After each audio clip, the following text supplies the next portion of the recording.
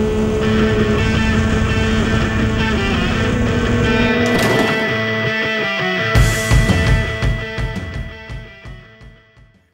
At oh, we're live. We were live. It's a Dom problem, not an us problem. But uh, anyways, guys, happy Tech Tuesday. Tech Tuesday is where we tech out on a Tuesday. But today it's the Maverick R XRS that we're going to be talking about. Went out and rode it this morning, and uh, we're going to have a review for you on it from what we've seen so far. In order to do that, got to go over Justin Smith. Thanks, Steve. Appreciate it. Yes, today is all about the Maverick R. And yes, we had a chance to drive it quite a bit. When I say we, um, kind of all of us. I mean, um, myself, John has already had a, his own experience in his own car in different spots. Uh, Dom was driving, Mitch was driving, Ernie was driving, kind of everybody had a chance at it. Um, put about four or five hours on it this morning, so it's fresh in our heads so we can talk to you about it today. We've made a small list on the board, which is kind of left-hand leaning, um, crooked old guy writing, John. But thanks for doing the board so we didn't have to do it, by the way. Appreciate that. You can raise your hand. He's over there. He's the one with the bad hand penmanship. got a new shirt. yeah, yeah, good job. Thanks, man. Appreciate that. A little dusty. But take a look at this thing. All right, new Mav R sitting in the shop. This is the one we were driving earlier today. It is an XRS Smart Shock version. Um, there are non-live shock versions. There's a couple others as well. John's probably the expert on that one. I tend to not look at the list of options on the board of musical treats with Can-Am and just go straight to the fun one that we're going to play with the most and drive that around. That's probably bad on This my is part. the top of the line one. This one, top of the line one, all the electronics, all the, all the shock options, um, wheel and tire option. What else is on there, John? You're, you're going to be the guy for this one. Uh, the infotainment is not included on the lowest level. Okay. There's four trim levels. Okay. The bottom two are Fox QS3. Mm-hmm. Uh, then we've got uh, Fox Bypass RC2, and then Mm-hmm. And Smart then Smart Shocks. Shock. Um, what other options are there on like wheel, tire, interior? Anything that you're The top with? Mm-hmm. two levels have 16 inch wheels with 32 inch tires. The bottom two levels are a 15 inch wheel with a 30 inch tire. Awesome. Thanks. Since you're talking about 32 inch tire on this one, um, everybody's concerned about what kind of clearance you've got right here between the tire and the, and the upper spindle knuckle, upper arm joint right here. Uh, 35s definitely fit. Um, Phil Burton had 35s on his the other day with uh, only a one inch offset out, out wider. Didn't seem to matter, and there was plenty of room. So I honestly think that a, a taller than a 35 inch tire would fit in here depending on the wheel option. Uh, maybe not a 37, but definitely like a really tall 35 or a 37 that measured like a 36 would probably fit. And as long as you're here talking about this, it's really easy to talk about the knuckle and the um, kingpin inclination on this True. and wheel offset. True. So if you come straight from the front, Josh, and kind of look directly at the center of this tire. So everybody's talking about the upper arm and the visual, all, all, of all this, and everybody can have your own opinion on whether you like that, whether you don't. The reality is, what's being accomplished here is with a taller spindle, you're dropping all the loads that are put on the spindle, both inward towards the arm, forward and backward when you hit the brakes, um, because there's about 3,500 pounds of force on the upper ball joint when you hit the brakes on one of these with 32s or 33s on it, but that drops down about 80% less when you get up to the upper on a taller spindle like this. Also, um, the extra height and less load getting thrown into the chassis helps with turning. And one, one thing this car does really well compared to the previous X3 and some of the other uh, uh, models on, on the market, it definitely turns without lifting up an inside tire much faster, much sharper than previous models. It's actually very noticeable. We'll get into that when we talk about suspension and performance. But if you take a look, imagine uh, uh, an imaginary line right through the center of this upper joint, straight through the tire, and you can't see it from where you're at, but also straight through the lower ball joint where this lower control arm and spindle hit, which is also in the center of the tire. So basically a line right down the middle of this tire to the ground. That's your kingpin inclination angle. Usually that angle is about five to seven degrees inward. On this design, uh, we've talked with the engineers at Can-Am, it is actually zero kingpin inclination. By doing that, a couple things happen. One, you end up with a lot less kickback in the wheel when you hit rocks or ridges or some sort of rain rut. Um, you, when you turn in, Um, it has a lot less load on the wheel. The power steering has less load on it. The rack and pinions take less load. Um, but the negative is that you have less feel when you load into a corner because when you have kingpin inclination, let's say five degrees or so, when you turn the tire, it actually leans slightly, leans inward on the inside as you turn in and leans in on the outside. So when it rolls over, it's actually a flat tire. That load you feel in the wheel as getting a little bit rougher, and you can kind of feel how you want to turn into corners. You can feel when the car wants to break loose or not. With this system, you may not have that feel, but what you don't have is ever having the wheel rip out of your hand. It doesn't matter what you're going to hit. Um, we put it through the paces today in all of our test areas. Um, guys are loop boulders, uh, a few other spots. These are areas where a lot of trophy trucks test. Whoops are fairly big, fairly sharp. The rocks are very big and sharp, and we try and blow through there trying to see what this feels like. And there's really no issue with the steering on this because of this design. Can-Am also, in talking with the engineers, had tested multiple designs over here. Um, more angle, shorter arm package, less angle, um, all of in an effort to try and get the lowest feedback possible and kick back into the steering so that your driving experience is the easiest it could possibly be. So having go, gone through all of those tests, they ended up with this because you can drive it with two fingers through the roughest of terrain as we did today. So for that reason, I think they killed it. Um, on the visual side, that might be the only thing anybody can argue about, and that's just personal preference. Did I cover all that pretty much, John? Yeah. All right, so since we're on the suspension subject, let's go over the board of cool things to talk about.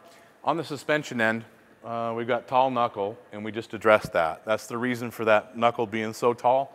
Drop the loads, allows for the upper pivot to be directly over the tire, giving you zero kingpin angle, which contributes to very little steering wheel feedback. As Steve is laughing because he loves it when I say knuckle.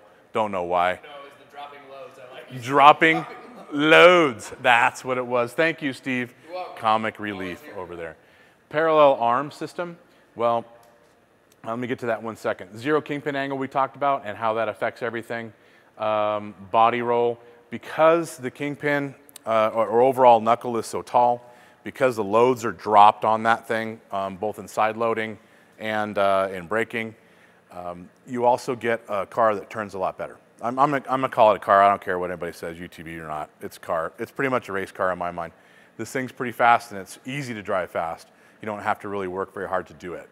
Um, body roll is a thing of the past on this vehicle. It does not really have any body roll, but at the same time, it doesn't have that feeling that with too much anti-sway bar on it, you, sometimes when you hit rocks independently, it knocks your head around. It doesn't really do that. You don't get that side-to-side -side kick in this. As you come into a corner, it acts like it's got a ton of sway bar in it, but it really doesn't. It doesn't kick you around. Do you have anything to add to that, John? You were talking about that earlier today. Um, well, smart shocks are also going to affect body roll as well. Very true and good point. Because this is a smart shock vehicle, all the sensor inputs are coming into the shock ECU. It knows when you're starting to enter into a corner. It knows when you're on the gas or off. It knows when you're grabbing the brakes. It, can, it has, you know, sensors for yaw. It has uh, accelerometers in it it knows what you're doing, so it can stiffen the outside shocks as you come into a left-hand corner, you stiffen the right-hand side. Or as you come into a right, it'll stiffen the outside again, left side, so that it doesn't have the body roll that a car that isn't controlled by the computer on the shock side would. So you can run smaller sway bar and not have the body roll when the shock controls that, so that's part of it too. Body roll is awesome on this vehicle for sure. Anything else on that? Nope, cool. All right, Par parallel arm. What that means is if you were to, from the front of the vehicle, draw a line between that lower pivot and the outer pivot, whatever that line is, come up to the upper one, and of course we don't have the plastics on this thing so you can't see it, but that upper pivot is here and the upper pivot's here. It's pretty much parallel line from the upper arm to the lower arm. A parallel arm system makes it so that the wheel and tire, as it goes through travel, maintains zero camber change. So as it compresses, it doesn't have any camber. It's still vertical or zero camber uh, throughout, even drooped. The only negative to that is that it brings the width of the tire patch or contact patch in at the top, wide at the middle, and narrow at the bottom. That's called scrub width. And, when things scrub, tend typically they don't have as much traction. Sometimes you'll feel that when you turn the wheel and you go through whoops in a corner and the tires are going up and down and they're also going wider and narrower. They're scrubbing as they go through that. Sometimes it'll skip and push and then turn, push, turn as the tires are contacting everything through whoops. Uh, doesn't seem to be as big of an issue with this when we drove it today as I kind of expected it to be. But one thing that I did feel like, and everybody had mentioned, is if you're going high speed through the whoops, like 50 mile an hour and higher, it can, it can try to walk around on the trail a little bit. I don't think it walks around any more than a Pro R, and, and we actually talked about that, right, Mitch? Um, you had a comment on that. Um, no, I don't think so. Yeah, I think you did. No. All right, well, let me remind you. You said when you drove the Pro R for the first time on the backstretch through the whoops that it was kind of skatey and walked around. Yep. So I mean, similar to like a Turbo S too. You know. Oh, They Turbo S is way worse. Had that had that feeling, I guess. You could Yeah, say. I think the Turbo S might be the worst one because the toe in the back changes so bad when it drops out. This does not have any toe issues. The, the toe doesn't seem to change in the back. We have not cycled the front completely to let you guys know if there's any bump steer in the front of this. Um, it doesn't feel like it. There's very little feedback to the front, but we'll let you know. Um, so a little skatey, but it also has a ton of power. So it could just be the fact that we're spinning tires the whole time as well. Um, it's a ton of fun, no matter what, and it's definitely not out of control. And you can control it with two fingers as opposed to a death grip on most cars. So even though uh, we might have pointed that out as a negative, it's a very small negative. And when we get to some of our dislikes, trust me, we're hunting and searching and we're splitting hairs to try and find some of these because the car is pretty badass. Um, anything on suspension while I'm on it? Anybody? Nobody? All right. Anything on comments that you want to address, Dom? Nothing? Getting to it. Okay. How about engine? Let's just scoot, scoot. Well, nope, suspension mode since we're on it. Suspension modes um, in the computer system, you can swap through Comfort, Sport, and Sport Plus. That is basically super plush and soft, a little bit more sporty, a little stiffer, a little bit more controlled, um, and then Sport Plus is turn it up full throttle, to jump some stuff for manly pictures, or uh, this might be comfort for the family and rock crawling, or trail riding. Sport might be uh, the family, but um, maybe a lot of weight in the vehicle so that it doesn't have any bottom out at all. Uh, Sport Plus, again, full load, all the weight, as fast as you can drive is kind of where you're going to want to have those. The modes are drastically different. You will notice a huge change between each one. They're not just a very small change that you can't, nobody seems to understand if it even makes a difference. You're definitely going to know. DPS mode, since we're talking on the same deal, so power steering. Power steering minimum, medium, and max. It, just like it sounds. You've got the least amount of power assist and the most amount of road feel. Um, then you go to basically medium. Medium's going to give you some more power. You're not going to two-hand it. You're going to go to a one-handed, if not two fingers. And max. Max is so much power assist that you could pretty much take one finger and you can whip it one way and whip it the other way. It is a lot of power assist. Unlike X3 models in the past, which had power steering issues, because everybody's shoving a big wheel and tire on it, because people put a wide offset that kicks it out and loads the system even more, there was always an issue with the previous ones of not having enough power assist. And feedback and kickback in the wheel because the power wouldn't cover up those things. There is no issue on this one like that at all. They hit a home run on the power on this and the feedback. So I almost feel like the steering is just better in this car. So the power steering might be the same amount of power, but the steering's better, so maximum isn't needed. Where where it is on the You're- X3. Well, you've got a point, and you're right. I think that as this kingpin design came in, then you have less feedback because the lack of kingpin angle. And with less feedback and less load, then the steering is doing a much better job. You won't feel all the things that you typically did in the previous model, right? So then the power assist doesn't have to be as much to accomplish the same thing Because on my X3, I will put it in max all the all time. the time. And it's still not enough. And on this one, I can go minimum or medium, and I'm fine. it is it is a huge difference that I noticed too. And and uh, honestly, I I never put it in max. It was too much power. I, I think that kind of lose some of the feel in driving it, especially in a corner. You can't quite feel when it's going to break loose, in my opinion. But minimum and uh, and medium. Medium was my favorite if you're turning it up. Minimum if you're cruising, for sure. or the other way around. I mean, you can go max when you're cruising so that you can have a drink over here and one finger on it, whatever you want. Uh, a water, a liquid, a beverage, whatever that might be. So, power steering is awesome. Brakes. So, brakes, we have differing opinions on brakes. Um, no doubt, these are much bigger. No doubt, we've got six piston front, four piston rear, I believe, is what's on this model. The rotor is larger. It's definitely um, a more robust piece, more um, truck automotive style than UTV. Um, on the, the car that I drove at the Can-Am event in Havasu, we put uh, about 100, 110 miles or so on it, two 50 or 60 mile an hour mile runs at a time. And I thought the brakes were awesome. You breathe on them and it stopped. Uh, they were great. But this one, not so much. And I think it is because we had some of the suspension off of it and uh, maybe we didn't bleed it right. Maybe it needs it a little bit more. But you guys both mentioned that you didn't like the brakes as much as you thought. On my car, which hasn't been touched at all, Mm-hmm. I felt like the brakes weren't as good as I expected them to be. Better than an X3, but not as good as you were hoping for them. My perception was these things have gigantic um, calipers on them, Yeah. and this thing should stop on a dime, and it didn't feel like that to me. but it stops with 32s better than any factory vehicle previous that you've driven, unless it had bigger brakes. Would that be fair? I don't know that I'd go that far. Not that far. Mitch, what do you think? I felt they were just super spongy, but like you said, having everything torn apart, it's kind of hard to. It, it might to be judge it, unfair. but yeah. And and that's why we didn't want to put brakes as a negative at all because I felt like the brakes I drove at the test event were amazing and the brakes on this one not so much. So maybe we'll bleed it and we'll let you know.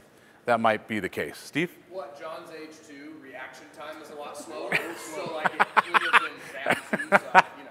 I. Highly likely.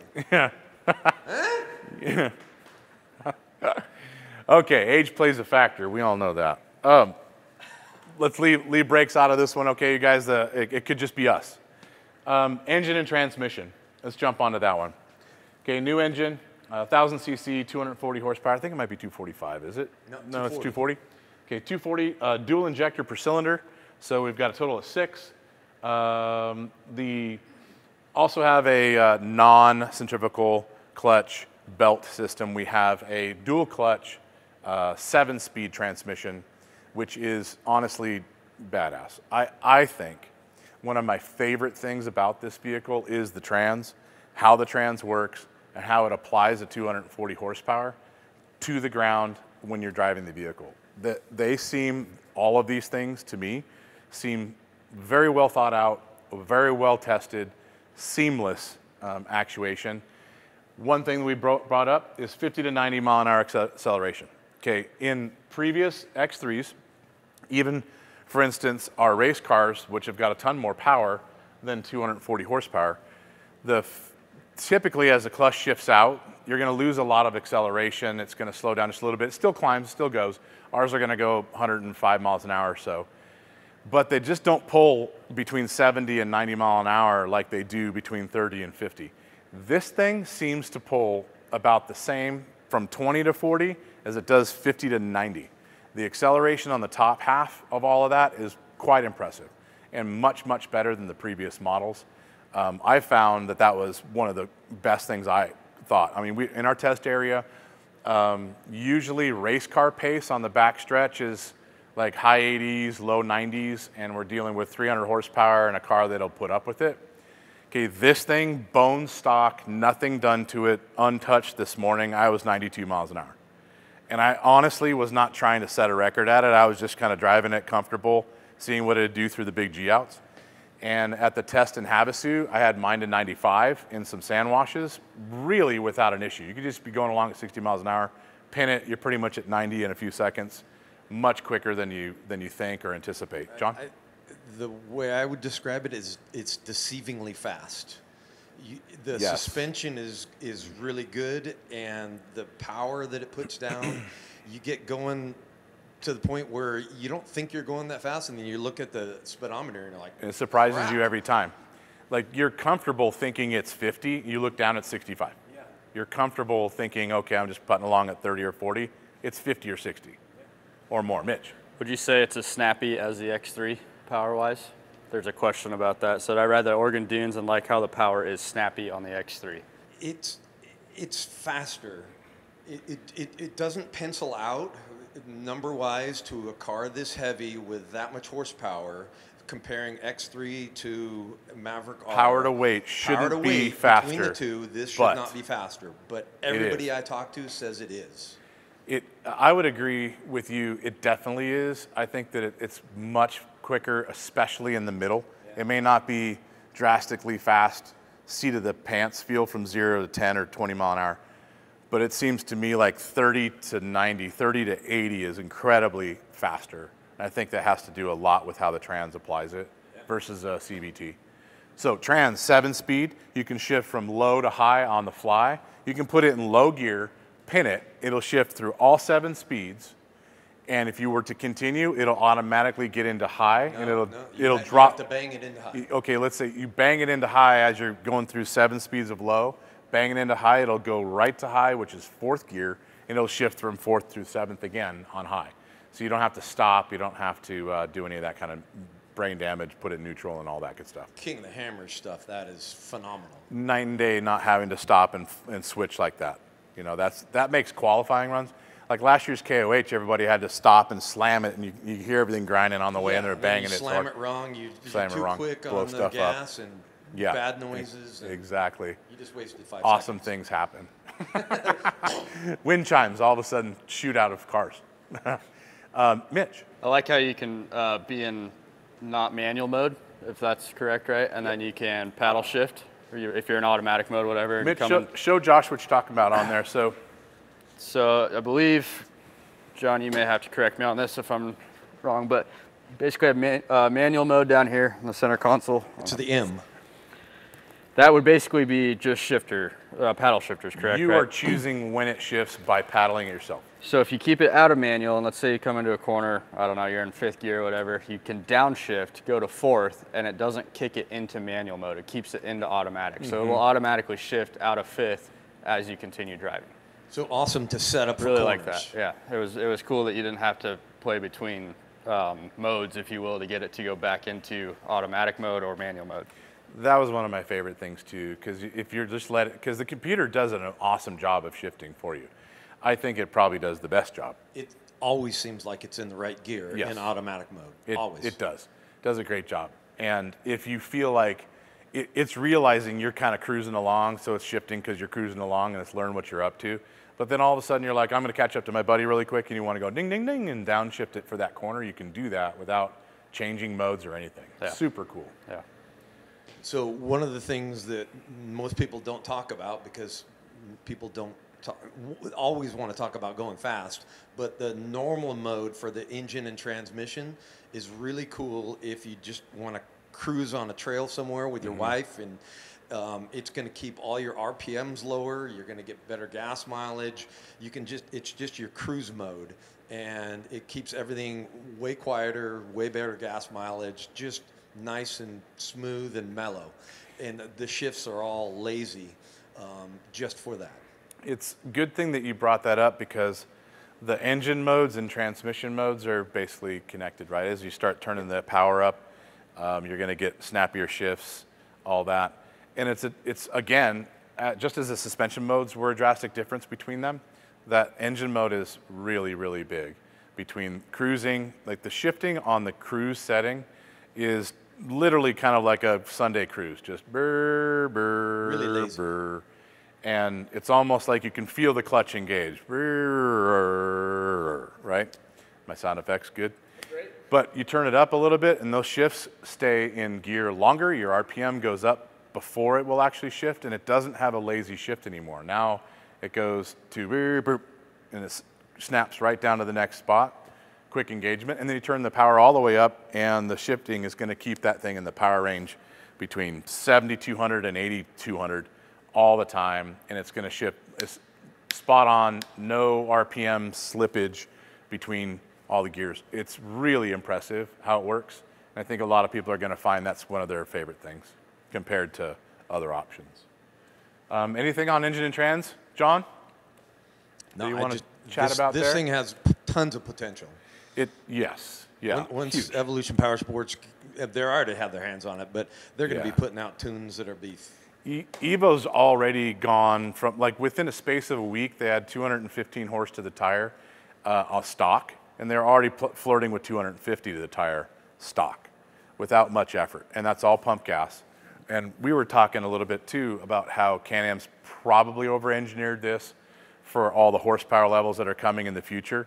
Um, we feel like they've got easy 280 horsepower in this thing three years down the road to get dropped on people, and uh, as they should. But it, it'll put up with it. That that's for sure. Dom, Do we know anything about the gas mileage?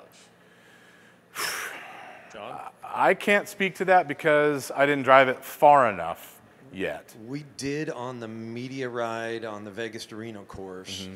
The problem was we were filling up out of a 50 ga- 55 gallon tank, so we couldn't tell. But looking at the bars, it didn't seem to be using much. Mm, I don't know that I trust bars as a, Sure. a gauge, but um, it seemed to be doing okay. And there was a lot of guys dri- just driving in Sport Plus the entire time. So I can tell you on the ride I did in Havasu, I pretty much had the thing in Sport Plus all the time, just ripping it. Because they let me go to the back of the line and wait five minutes for everyone to jam off, and then it, kind of race up to the back of the line. I was able to do that the whole time, and we put over 100 miles on it, and we didn't fill it up. So 100 miles on one tank on this is really impressive because on previous, you're looking at 80, 78 to 85 miles on a four-seater per tank, like in kind of like ripping around mode, and maybe as much as 90 if you want to stretch a two-seater somewhere on the previous stuff.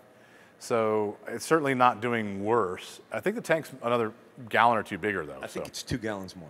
So maybe that's where the ex- extra is, but it certainly isn't doing 80 or 90 miles out of one tank. It was well over 100 and we didn't fill it up. So that's pretty good. So mileage, uh, engine transmission modes, you got normal, sport, and sport plus. Um, today, which was mostly desert, um, we had it in sport just about the whole time. Uh, sport plus is uh, awesome, and it, it is raspy, and it, it definitely puts up some power real quick. It's interesting um, when you're in normal and sport, it idles like a normal X3. Normal three cylinder kind of sounds like that purring style, as opposed to like a two cylinder Polaris, which is more of, you know, gurgly or, you know, two cylinder rasp to it. You put it in Sport Plus, it loses that center cylinder just to after run the turbo up and run the boost up almost from idle, and it gets that raspiness to it. You can feel it shake just a little. You can feel it lose the smoothness and get kind of more angry. And it's night and day on how quick the thing responds. It's very, very powerful. Whereas like 60, 80 miles an hour on a straightaway, you can get in it, it's definitely sideways, and you, you know you're managing it. So it's a lot of fun. Um, Mitch, anything there? All right, let's go to boring stuff. Interior and electronics. Who cares about all that stuff when you're trying to drive fast, right? I don't, but everybody else seems to. So let's talk about it real quick. So, uh, seats. The seats are actually the same seats and mounts as previous X3 models. There's no change on that. It's about the only thing that wasn't changed in, on the full interior package of the vehicle. Personally, I was never really a good a fan of the stock seat. I, I don't think um, they have enough cushion to them, and I think they translate a lot of the road feel into your butt cheek. That's the only real thing that I don't like about those. So I'd love to see those change for something that was a little more lazy boy couch like. Um, dash switches electronics, kind of all that put together. Mitch, you want to hop in there and kind of point out some of that? Let me open the door. Which, oop, cool factor, outside door handle and inside as well. Having both is really bitching instead of having to lean over it all the time. So electronics on these are awesome, touchscreen. We didn't even learn near enough about this to tell you anything cool because there's so much to learn. But Mitch, try and give you a little bit of a heads up. Uh, yeah, pretty cool. This, I mean, I learned all this this morning too, so a little little rusty on it. But basically, I believe you can switch through all this with the with the steering wheel as well. But your main things are all here. So your engine mode, we were talking about that. Oh, this is probably gonna shut off again. Um, here's your normal, your sport, and your sport plus. The sport plus is what you were just talking about, how it gets raspy and it, it has tons of power right away. Um, you have your suspensions, so comfort, sport, and then sport plus as well. So you can kind of play with both of those and have multiple different changes between those there. Um, power steering, your minimum, medium, and max. Um, I believe, yep. So the steering wheel, you can actually change this with the, the dial here, which is pretty nice as well. Uh, four-wheel drive, two-wheel drive, four-by-four trail, and four-by-trail active. Pretty cool. Three different modes on that guy there. And I don't, I'm honestly, I don't know what these last two are, John. Front diff lock, okay, and then One is your drive modes, which encompass your engine mode, your shock mode, and your DPS. okay, so you can kind of And you, have it and you can customize that too.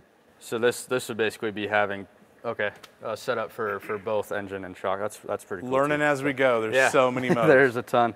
Um, park neutral, low, manual, and then override. This kind of tripped me out at first, having you know one shifter for reverse and then drive. Mm-hmm. Kind of different there, but then obviously your paddle shifters. You have a smaller screen here. This is kind of your main main hub, if you will, oh, of everything. steering wheel, uh, tilt and telescope. Yep. Tel- telescoping's huge. That's awesome. Pulls in and out, adjusts up, whatever you want there. One thing we did Headlight find switch. out last night is uh, if you run out of gas, you we could not find a way to put it in neutral without the car being started because we, wanted to roll yeah, it forward. It seemed like it had to be running in order for it to be in neutral. So you couldn't may- just put maybe it if in someone could tell us how to do that, that'd be Yeah, awesome. it might be in the manual, which uh, dudes don't read. so it's probably in there, but we didn't figure it out. Right. But that's pretty cool. I mean, it's laid out really, really well. I mean, what, Um, the vision inside's awesome. Like Yeah. the over the hood right here, the normal X3s, that, that's a lot taller. It's not as flat. You can't set your helmet on there, that's for sure. much the vision better. out of it's killer. Um, out the sides are great. A full door, super cool. Instead of having the hole in the bottom of the door for mud to come through. Um, it does not negative though. Stock, though, storage is like almost non-existent. Yeah, it's very low on the compartment storage side. is- There's pretty much everything, and they're not very Super- big. That, that's all you got. They uh, Can-Am has lots of accessories, upper and lower door bags, and some cool stuff in the back. But stock, there's, it's pretty. Uh, But it looks bitchin', so who cares about what you're putting in the glove box, right, John? Perfect. It's Um, got a Bluetooth charger, so that's there.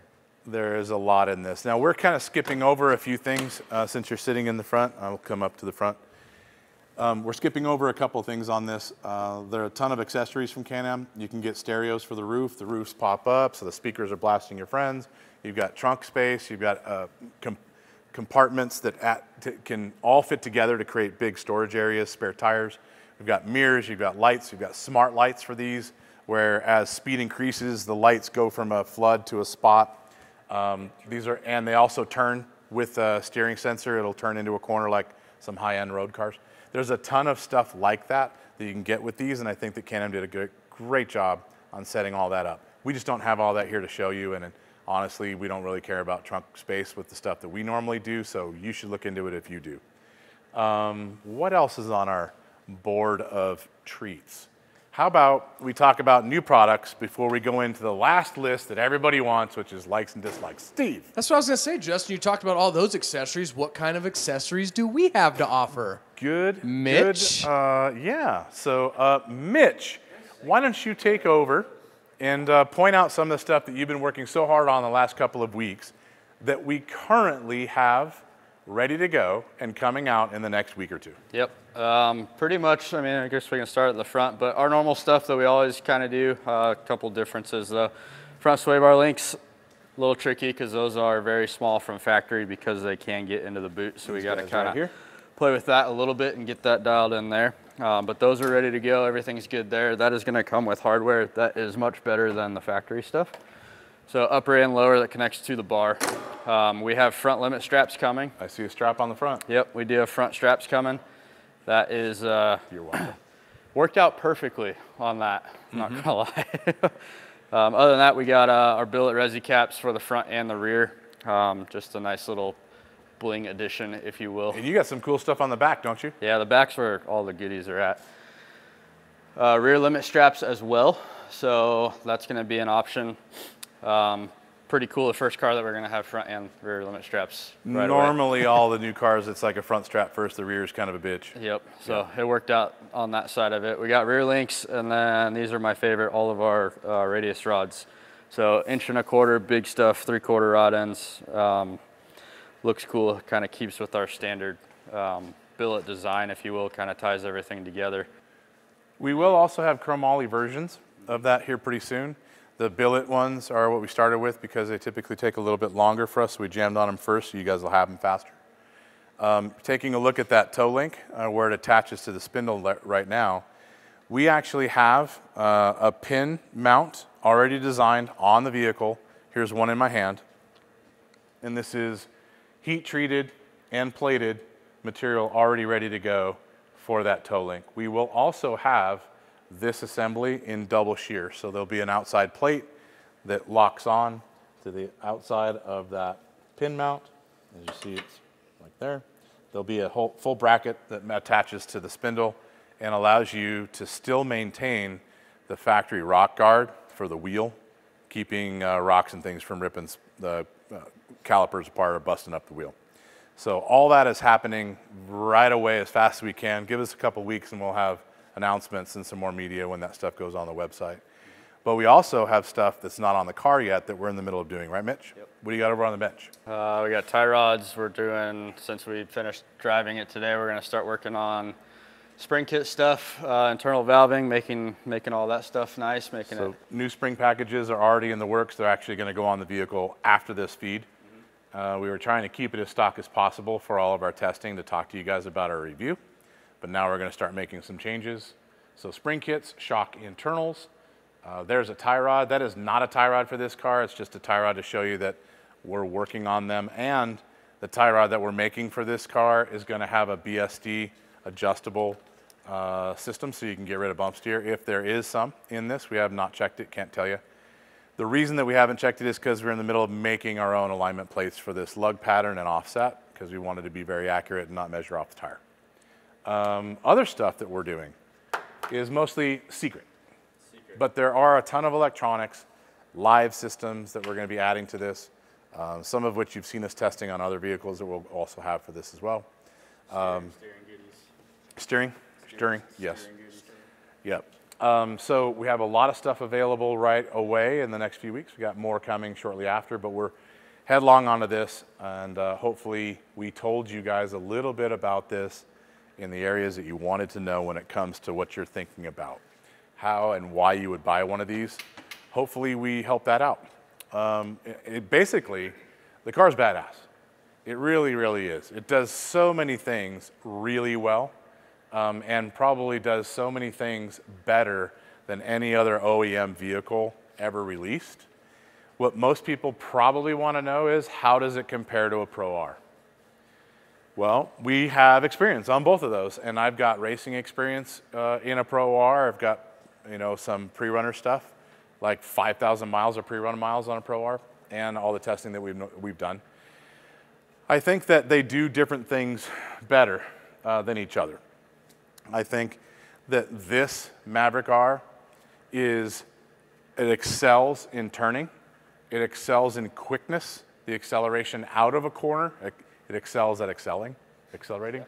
But um, uh, the, the, the corner speed that this vehicle carries is really impressive. And then how the trans puts that power down on leaving a corner is even more impressive to go from 30 mile an hour exit speed to 60 mile an hour in you know one or two seconds max.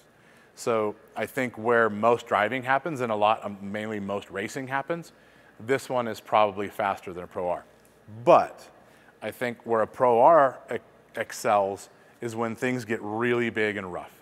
When one foot whoops turn into two footers and bigger, um, then I think a Pro R might have the handle or the advantage there. But a Pro R is and feels heavier to drive uh, than, than this does. And I think that they are both about 2,200, 2,300 pounds. So it, it's not, it's about the same, but this does not drive heavy. It drives very light. It, to me, it drives like an 18 or 1900 pound car. It does not feel like it's carrying all that extra weight at all. Whereas a Pro R feels heavy and lumbersome, cumbersome in a corner a little bit. maybe a little top heavy compared. Um, I think that uh, this one really, really excels in the cornering and acceleration side of things. Pro R's when it gets big. That's kind of my take. We'll see though. You know, we're, we're a lot of guys are building some fast Pro R's, and we'll when it comes to racing against each other, there'll be no way you can hide it. You'll find out which ones are quicker in different races. Pretty fast, but uh, this thing's awesome. Very much, very, very. It's everything I think everybody wanted it to be. Dom, you had? Yeah, Ty Spencer's asking, are the A-arm shocks mount, shock mounted in the front double sheared? Yes. Um, everything on this vehicle is double sheared, unlike X3s in the past. And it- except for the toe link in the rear on the radius rods, which we will be making our kit double shear, but that's about the only thing on this vehicle that is not. And I just wanted to point out to people that driving this thing on the inside in the cab, it is super quiet. There's no more clutch noise. Very good point. It is so quiet inside. It's really nice. Turbo Tesla. Turbo Tesla. A turbo Tesla. You, th- you thought it was a, a turbo electric car. I literally, it felt like it was electric the first time I got it when I drove it this morning. I was like, this thing, it's so quiet. Like it literally It- cycles through everything and does not make a noise. All the arm system is super quiet. Yeah. What's the name of the joint that they're running? A double bonded arm joint or pivot point joint? I forget the name of it, but Double bonded bushing, I believe. something like that. something. Um, whatever the name of this new cool, cool trick bushing is, it definitely is quiet. There's really no noise in the front suspension movement, um, unlike a ton of vehicles we drive. And uh, the fit and finish is much nicer on the inside. The doors are, are much more substantial. Handles on them, they don't rattle, they don't shake. Um, and I, I didn't find anything else in, in this thing that was really upsetting me on a noise side. It was really nice. And yeah, you mentioned doors. Yep. I don't see why anybody would put an aftermarket door on this. They're that good. It does have a really good line. You know, I think after we wrapped this, the, the lines really became even more apparent, I think. Like it wasn't hidden with all the black, and now you can see what's going on. Um, I, I dig it. It's pretty cool. Justin, who did this sick ass rap? This wrap done by Wolf Designs in, uh, in Phoenix. So hit them up if you guys like it. Um, what other questions have you guys got before we get into our likes and dislikes? Are you going to take this car to Baja? Absolutely, every car we have goes to Baja. It's the only place we can test everything for real and try and blow it up for real. Multiple days, many miles, thousands of miles. Um, I mean, so the Pro R rolls pretty good. I'll figure out if this one does, possibly. Isn't that kind of a fly? that one rolled really well. Turtle. So we'll see if this one does. All right, so uh, how it compares to a Pro R, we talked about that. Likes and dislikes. Take a look at this list. Okay, our likes are pretty much every single thing that we talked about on this video. Our dislikes, we kind of had to split hairs and search for things that we didn't like, okay? So it's not even a crappy list. It's just things where we would wish it would have. On the likes, we love the power. Power and the car is quiet. It's super quick. The ground clearance is great. We don't find ourselves dragging over, you know, bigger rocks than normal that we would expect. You know, a crown in the road, you can bottom the car out on a crown and it doesn't drag it because it's got ground clearance even when it's fully bottomed out. The Can-Am engineers said that we've got three inches in the back, four inches in the front. That is super cool. It feels really solid. It doesn't feel solid because it weighs 2,250 pounds. It feels solid because everything in it seems to be tight.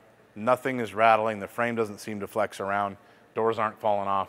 It just feels solid. Everything about the car is beefier too, but all, all the nuts Yes. and bolts and everything, it, it's all bigger. Now you went from 10 and 12 millimeter hardware to pretty standard issue 14 mil on all this stuff, right, Mitch? Yep. Uh, All the shock hardware is 14 mil. Sway bar stuff's still 12, but I mean, bigger That's hardware still 12 millimeter on, on sway bar is good. Yeah. Um, everything's really nice. It turns incredibly. You can whip this thing into a corner, carry way more speed. Like, perfect example, a, a race rutted corner in a sand wash that normally you're stuck in. And if you take it a little bit too hot, you're not going to go out of the corner, you're just going to bike it. It just doesn't seem to do that. It, you, can, you can go in way too hot and it doesn't pick up the inside tire.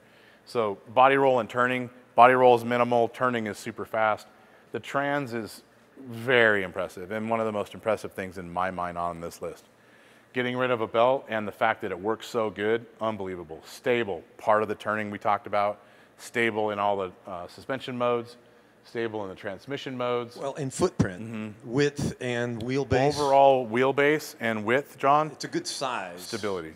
Um, For dunes, rock crawling, even when I was on the Rubicon testing it, it felt great. You know, coming up on a, a climb without having to square up, the length and everything makes it feel way more stable. Yep. Um, so stability with width and wheelbase, as John had mentioned, steering and feedback kind of the same. Way, way more improved over previous years. Tons of power steering, assist, uh, less feedback or kickback that normally would rip the wheel out of your hands. It's gone. Thing of the past. You can drive with fingers instead of both hands. Uh, shifting, just forget about it. Let it do it. It does such a good job. It's, it's quite impressive. And how the clutch engages for you is, is programmed so well, you basically don't even know that it's happening. Very impressive. Electronics, I like that it has so much stuff that we have to learn and read the book to understand how it works. The book, the manual book thing, those words with letters and print that I'll probably never ever read. I'll just fumble my way through touching things until I figure it out. But just that did stuff's that, you, like you did, Mitch. Yeah. But that is cool. Dislikes. Well, on previous models, as John had mentioned, we used to have temperature, you know, to our gauges. For instance, engine temp and belt temp, right, John? An actual number, A number as a, as opposed to a bar graph. 206, you know, Yeah. Fahrenheit for your engine coolant. Now all you have is a bar graph. So you would prefer the numbers. I would prefer the numbers as opposed to and just I want to know my transmission temp. Yeah. I don't care that it It's not a belt. should never overheat. I still want to know. Yeah. Just one of those things that I want to know. I wonder if it's in there. We just haven't dug through electronics to find it. It's absolutely in there somewhere, Somewhere. but it's not. it hasn't So, surfaced. is this really a dislike? It's just us bitching because John's old. Um, seats. Wow. Now even even Justin's doing it. So uh, seats. Uh, again, that's my complaint. I just, I just. I'm you're not a- old. Yeah, there it is. I'm old, and I, I just want super comfy seats, man. I'm sorry. Um, an oh shit button. We didn't talk about it, but man, the one cool thing that this is missing that we all want is a button on the steering wheel to go full stiff when you go too fast into the biggest hole ever you didn't expect, or make a big mistake, or jump something, it's crooked and it's coming nose in. You want to hit that button, go full stiff, not bottom out. I wish this had it. It has everything else. It wouldn't take much to do it. That would be on, on my wish. I know it's on John's wish list. Well, and I specifically asked the Can-Am guys about that uh, at the media event, and in their defense, they said that the electronics in this are so smart that you don't need it. They might be. I still want it. Right. Gotta have it. No, no. I want a big, giant red one, like almost Easy can to, punch easy it. to reach. Right. Something. So uh, brakes. Again, it's not a dislike yet because I think we're being a little overcritical, not knowing how good or bad they are. I thought the one that I drove before was awesome. You guys didn't like this one, and I do think this one didn't have as good of brakes as the previous one I drove. So let's play with it before we, you know, set our mind on that. John had a good point. We have all this cool transmission stuff, and they didn't put a launch mode in it. A YXZ has launch mode. Ooh, And I think doesn't. that's you definitely zingered them right there. Um, when it does so much other stuff, we just we want one. Evolution's going to have it, but Oh yeah, it's gonna happen here pretty quick. We really want one. Tire rub. Last thing. Well, there's a lot of flex in this tire. Moving around with what we did, we actually can see a little rubbage on the inside of the spindle, and that's just the stock wheel and tire. So honestly, who cares? Everybody's going to change a wheel and tire. Everybody's going to change a wheel, um, and and you're going to have probably a stiffer sidewall design, and you'll never see it happen again. I didn't hear it, Rob. I, never. I never noticed it at all. We just noticed the color, and that's it. Are those really dislikes? Honestly, it's just the only, the only thing we could find. It's the only thing we could come up with. There isn't much else. That's kind of impressive because usually we're really good at pointing out a bunch of screwed up stuff. Haven't found it yet so far. Another, well, one other potential uh, dislike. I felt in the dunes that on um, transitions, um, it would bottom out too easy. Side by side blog guys as well have seen the same thing. We haven't taken this one to the dunes, Right. so we need to do a little bit more testing on that to confirm. Um, and we will do that and have that Next as week. part of our spring and valving package. We will do a lot of testing. It'll be in the dunes next. After we do our spring and internals here and desert terrain, we're going to go straight to the dunes. We'll do all that. We're going to be doing some rock crawling. We'll be in uh, Sand Hollow. Sand Hollow in, a, in two weeks. Uh, we're One gonna- week. One, sorry, one week. Time's coming together. Um, but we're going to have it everywhere. We're going to have setups for everybody, and we're going to have you know super slow plush stuff for guys on the East Coast, kind of trail spec. We'll have that as well. So don't worry, we'll have a lot for you after we're done. Dom. Uh, Britt Davis is asking, how similar slash different are the shocks between the Pro R and the Maverick R, Smart Shock versus Dynamix, all stock? Um, I think that these do as good a job as a Pro R. Pro R shocks do as good a job as these do. Um, but I think that these do a better job cornering than the Pro R suspension system does, whether that's a shock specific reason or not. We're not sure. There's a lot that goes into that. But I feel like these are tuned better for smaller things to keep the tire on the ground, traction in a corner, whereas the Pro R is tuned for bigger stuff that you can just blow through and not feel. So, two different directions, but they both are extremely good at it. But from a live valve perspective, the one thing uh, Polaris does is their different modes um, change rebound and compression Mm-hmm. in some of those. Like Baja will add a certain amount of rebound Right. as well, specific to what they think that terrain is. Where this just um, has you know soft, medium, and firm kind of um, shock settings. Well, I think that the shock algorithm does change the rebound as you go through those settings because the, the valve on the piston in this, not, we didn't take this apart to show you guys, but there is an external live valve, um, basically magnet like the Pro R has on the bridge, one, uh, whereas the Pro R has two, a rebound and a, and a compression. Uh, there's one on this, and then there is one valve on the piston internally. The one on the piston internally is controlling rebound. The one on the bridge is controlling compression. So they do control both of those separately. What we don't know is how much rebound has changed as you go from soft, medium, and stiff. Whereas on a Pro R, you can see that they're definitely changing the rebound settings as you choose terrain. And that all could be just perception and me Yeah. looking at the cute little screen and going, oh, it's changing my rebound. Shiny me." things, look at me. Where this isn't telling me they're doing it, it's just doing it. Right. Um, but to answer his question, Dom, I think that this kills it, and so does a Pro R. They're just better at in different areas. Um, any other questions before we sign out of here? Uh, so w- one other negative, um, from my perspective, and I know a lot of other people have uh, an issue with it, is the C pillar doesn't go anywhere. It doesn't tie into the frame in the Right, back. right. Um, in Can-Am's defense, they've done all their testing and they say it isn't needed. The C pillar is only needed for their accessories. I, I would love to see it tied into the chassis itself. Um, I would but too, but I'd also defend them too. they, you know, they, you have done all the testing. right. I mean, you can lose a C pillar altogether and it still pass test. Yes. So, you know, as far as safety is concerned, we're not too concerned. But I like seeing things terminate and not just end in space too. But ha- back, how about we finish this with this? On our likes and our dislikes, these likes are massive in size. We, the power, trans, steering, performance, turning, uh, stable, solid feel, shifting, feedback into the steering wheel, all of these things are like deal enders in most vehicles when they're not done well. And all of these are done really, really well in this vehicle. Our dislikes, again, we're just splitting hair, hairs here. We'd love to have difference in gauges, C pillars ending in, in different places, launch modes, and things that we really want, like oh shit buttons. But there isn't anything that would keep me from buying this thing, ever.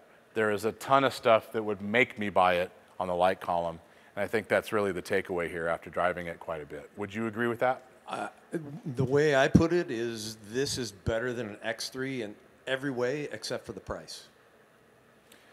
Well, it's a lot. This one's 45 and change.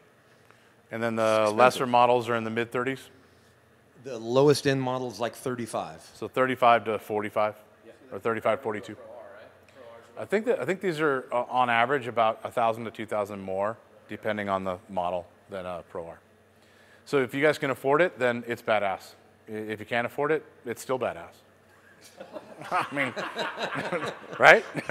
But what about the trees getting stuck in this thing? I don't ever see that being an issue. Trees getting stuck in the spindle. I no. Quit smoking trees. No, no, no. You have to drive upside down to get stuff stuck in that upper arm spindle, I think. But uh, Mitch, Dom, it's your last chance. All right? Nope. Done. All right. John. Before, No, wait, not wait, anymore, John. I'm before we trying to leave. Before we leave, we got a couple of other things happening in the next week. Where Well, you do have stuff be. on the schedule, don't you? Um, we will be at UTV Takeover next week, Sand Hollow. We'll have our merchandise trailer there um, with all that stuff. I got it all in my Okay, brain. got it. A- after that, we're going to have our service trailer in Glamis doing all the appointments and everything, and we may have a couple appointments left. Call the shop. Yep. 623 217 4959. He nailed. He nailed it. And And Legends the, of the Havasu. same week, we're going to be in Havasu for the uh, Legends. American Side by Side Takeover, which, is, the Legends at Havasu, run by Mid America. Mid America Outdoors, which means Outdoors. you guys know it's going to be a party because those guys definitely throw one all the time. And John is over here showing off because his his exit was so good. Where do they go to buy any of these products you just spoke of? And what www.shocktherapyusa.com. Dub, dub, dub. wow, dub, son? definitely with Why the am I old. here? I don't know, Steve, but you guys, thank you very much for tuning in. Hopefully, this helped you. Uh, not quite a full tilt review, just to this point with what we've done, trying to let you know what we think. Hopefully, it's helped. Tune in when we got some more stuff coming after we've done some dune testing and we have more products for this vehicle. For now, thanks again. We'll see you guys soon. I like the dub, dub, dub.